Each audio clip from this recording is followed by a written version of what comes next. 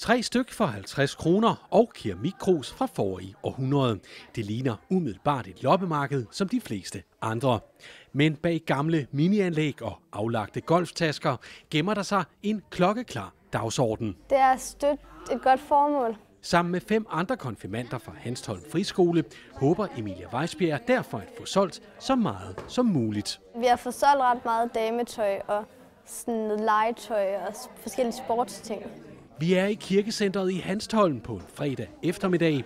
Dagens loppemarked er en slags alternativ undervisning i næstekærlighed for konfirmanderne. Det viste dem, at man kan relativt let ved ingenting gøre noget for andre mennesker. Hvis de bare kan huske det, så synes jeg faktisk, at det er det hele værd i et konfirmandforløb. Hele overskuddet fra loppemarkedet går nemlig ubeskåret til det lokale asylcenter i Hanstholm. Fordi at der kommer rigtig mange nye til. Og øhm, alle de nye, der kunne vi godt bruge nogle flere penge til nogle ting til dem. Og nu bor vi i Hanstholm, hvor vi har et stort asylcenter.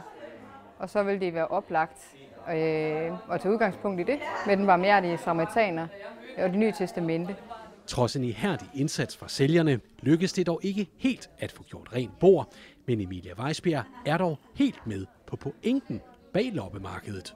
Jeg synes, det er en rigtig god idé og også en god ting, vi skal gøre i præst. For vi lærer noget af det, og man får også en god samvittighed bagefter. Loppemarkedet gav i alt et overskud på 2100 kroner.